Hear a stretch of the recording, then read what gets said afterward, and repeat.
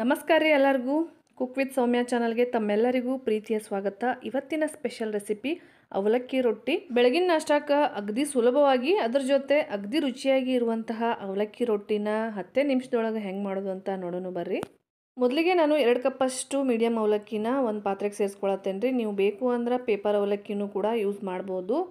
ಅವಲಕ್ಕಿನ ಚೆಂದಾಗೆ ಎರಡರಿಂದ ಮೂರು ಸಾರಿ ತೊಳಿಬೇಕಾಗ್ತೈತೆ ರೀ ಅವಲಕ್ಕಿ ಒಳಗೆ ಭತ್ತದ ಪೀಸ್ ಆಗಲಿ ಧೂಳಾಗಲಿ ಇದ್ದೇ ಇರ್ತೈತಿ. ಸೊ ಹಾಗಾಗಿ ಎರಡರಿಂದ ಮೂರು ಸಾರಿ ಚೆಂದಾಗಿ ಅವಲಕ್ಕಿನ ತೊಳೆದು, ಈಗ ನಾನು ನೋಡ್ರಿ, ಅವಲಕ್ಕಿ ಮುಳುಗುವಷ್ಟು ನೀರನ್ನು ಸೇರಿಸಿ ಹತ್ತು ನಿಮಿಷ ನೆನೆಯಕ್ಕೆ ಬಿಡತ್ತೇನೆ ರೀ ಅವಲಕ್ಕಿನ.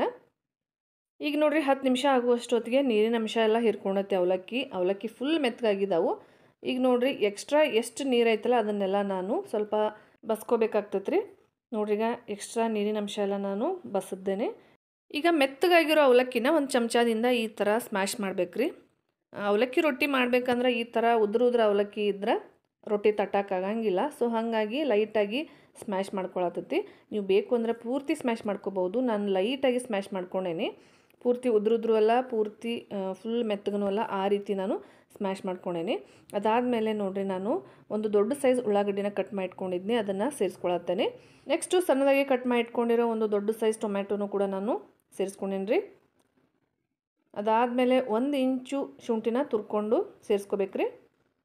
ಒಂದು ಆರಿಂದ ಏಳು ಹಸಿಮೆಣ್ಸಿನ್ಕಾಯಿನ ಸಣ್ಣದಾಗಿ ಕಟ್ ಮಾಡಿ ಇಟ್ಕೊಂಡಿತ್ತು ಅದನ್ನು ಸೇರಿಸ್ಕೊಂಡತ್ತಿ. ಸಣ್ಣದಾಗಿ ಕಟ್ ಮಾಡಿ ಇಟ್ಕೊಂಡಿರೋ ಕೊತ್ತಂಬರಿ ಸೊಪ್ಪನ್ನು ಸೇರಿಸ್ಬೇಕ್ರಿ. ಅದಾದಮೇಲೆ ಎರಡು ಎಸಳಷ್ಟು ಕರಿಬೇವನ್ನ ಈ ರೀತಿ ಕೈಯಿಂದ ಕಟ್ ಮಾಡಿ ಸೇರಿಸ್ಕೊಳತ್ತೇನೆ. ಕರಿಬೇವು ಅವಲಕ್ಕಿ ರೊಟ್ಟಿಗೆ ಒಳ್ಳೆ ಘಮ ಕೊಡ್ತದ್ರಿ, ಒಳ್ಳೆ ರುಚಿ ಕೊಡ್ತತಿ ಮತ್ತು ನಮ್ಮ ಆರೋಗ್ಯಕ್ಕೂ ಚಲೋ ರೀ ಕರಿಬೇವು.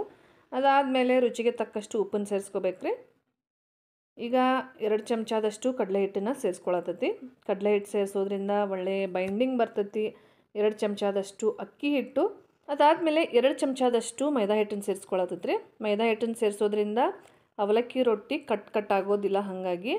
ಈಗ ಎರಡು ಚಮಚದಷ್ಟು ಮೊಸರನ್ನ ಸೇರಿಸ್ಕೊಳತ್ತದ್ರಿ ಈಗ ಎಲ್ಲ ಇಂಗ್ರೀಡಿಯೆಂಟ್ಸ್ನು ಕೈಯಿಂದ ಈ ಥರ ಚೆನ್ನಾಗೆ ಮಿಕ್ಸ್ ಮಾಡ್ಕೋಬೇಕು. ನೀವು ತಟ್ಟಿ ಮಾಡೋರಿದ್ರೆ ಗಟ್ಟಿಯಾಗಿ ಕಲಿಸ್ಕೊಂಡು ಒಂದು ಶೀಟ್ ಮೇಲೆ ತಟ್ಟಿ ಅವಲಕ್ಕಿ ರೊಟ್ಟಿನ ಮಾಡ್ಕೋಬೋದು.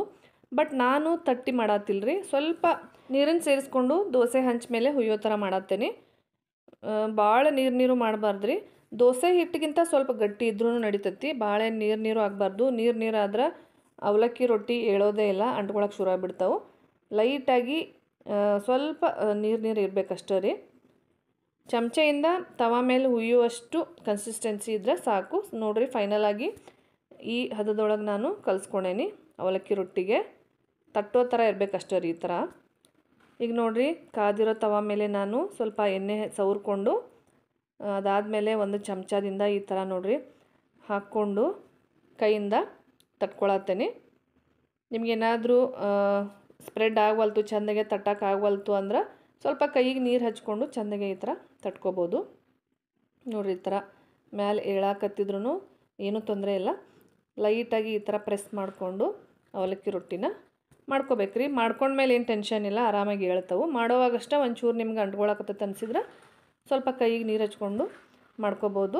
ಬೇಯೋವಾಗ ಸ್ವಲ್ಪ ಮೇಲ್ಗಡೆ ಎಣ್ಣೆ ಹಾಕಿ ಒಂದು ಮೂರು ನಿಮಿಷ ಮೀಡಿಯಮ್ ಉರಿ ಒಳಗೆ ಚೆಂದಾಗೆ ಬೇಯಿಸ್ಕೊಂಡು ಈ ಥರ ತಿರುವಿ ಹಾಕ್ಬೇಕ್ರಿ ಬಾಳೆಹಣ್ಣು ಟೈಮ್ ತೊಗೊಳೋದಿಲ್ಲ ಪಟ ಪಟ ಅಂತ ಆಗಿಬಿಡ್ತಾವೆ.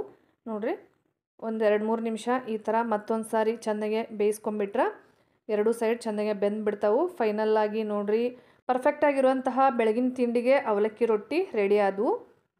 ನಿಮ್ಗೇನಾದರೂ ಮಾಡಬೇಕಾದ್ರೆ ಸರಿಯಾಗಿ ಏಳ್ವಲ್ವು ಅಂಟ್ಕೊಳತ್ತವು ಹಿಟ್ಟು ಭಾಳ ಮೆತ್ತಗಾಗೈತಿ ಅಂತ ಅನ್ಸಾಕತ್ರ.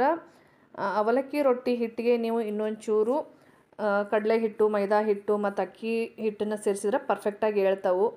ಏನು ಟೆನ್ಷನ್ ಬೇಡ. ನೋಡಿದ್ರಲ್ರಿ, ಇವತ್ತಿನ ಸ್ಪೆಷಲ್ ರೆಸಿಪಿ ಕೇವಲ ಹತ್ತೇ ನಿಮಿಷದೊಳಗೆ ಆಗುವಂತಹ ಅವಲಕ್ಕಿ ರೊಟ್ಟಿ ಡಿಫ್ರೆಂಟಾಗಿ ಹೆಂಗೆ ಮಾಡ್ಬೋದು ಅಂತ ತೋರಿಸ್ಕೊಟ್ಟೇನಿ. ನಿಮ್ಮೆಲ್ರಿಗೂ ಇವತ್ತಿನ ರೆಸಿಪಿ ಇಷ್ಟ ಆಗೈತೆ ಅಂತ ಅಂದ್ಕೊಳ್ತೇನೆ ಇಷ್ಟ ಆದರೆ ಲೈಕ್ ಮಾಡಿರಿ ಶೇರ್ ಮಾಡಿರಿ ಸಬ್ಸ್ಕ್ರೈಬ್ ಮಾಡ್ಕೊರಿ. Thank you